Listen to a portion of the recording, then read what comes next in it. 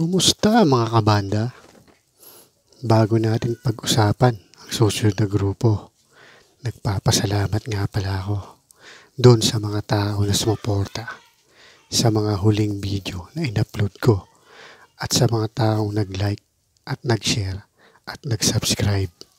Salamat sa inyo mga kabanda. Itong pag-uusapan natin na rock band ay siguradong kilalang kilala nyo lalo na yung mga batang 90s na lumaki sa heavy metal at thrash metal.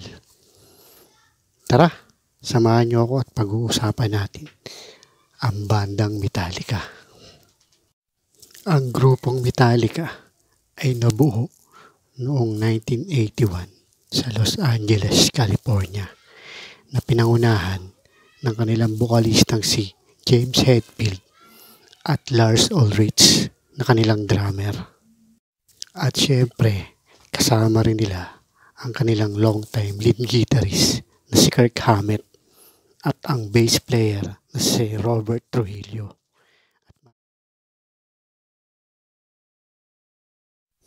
Ang bandang Metallica ay nakagawa ng labing dalawang studio albums sa kanilang 30 years na pagtugtog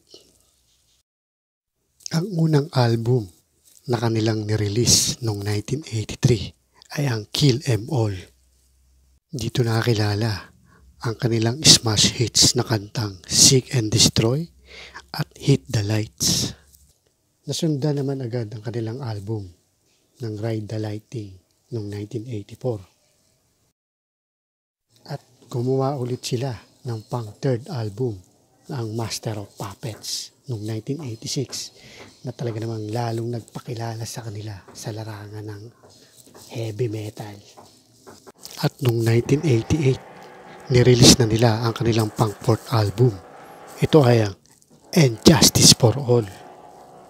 At pagkatapos ng tatlong taon, dito na nila nirelease ang kanilang pang fifth ang Black Album noong 1991 dito sila nakakuha ng napakaraming awards dahil sa dami ng mga kanta na pinasikat nila sa album na to. Katulad ng Enter Sandman, Sad But True, The Unforgiven, at marami pang iba. At pagkatapos ng limang taon, nirelease naman nila ang kanilang pang-anim na album na ang pangalan ay Load noong 1996. Isa ring album na to na nagdala sa kanila sa pagiging heavy metal. Dahil sa dami ng mga kanta na pinasikat nito tulad ng Until It Sleeps, King Nothing, Hero of the Day, at marami pang iba. At nasundan naman agad ito ng pangpitong album na Reload noong 1997. At nasundan din ng pangwalo, Garage INC noong 1998. Sobrang naging abala talaga ang grupo ng Metallica noong mga panahon na yon. Sa dami ng kanilang mga project, mga concert na ginagawa. Hindi ko alam kung natutulog pa sila noong mga panahon na yun eh. At noong 1999, na-release na nila ang kanilang pang siyam na album. Ito ay ang S&M.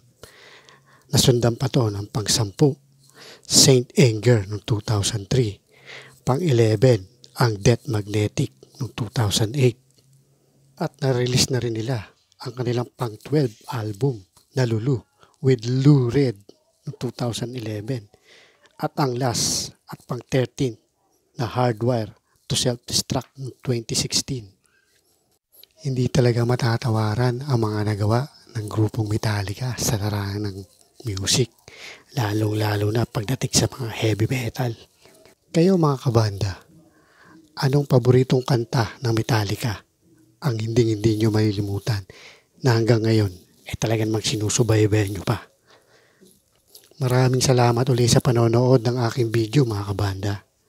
At huwag kayong maglala, marami pa tayong banda pag-uusapan dito.